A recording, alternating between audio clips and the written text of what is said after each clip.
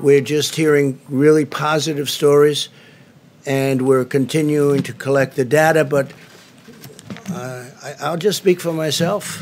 Uh, it's been out for a long time. It's a malaria drug. It's also a drug for lupus.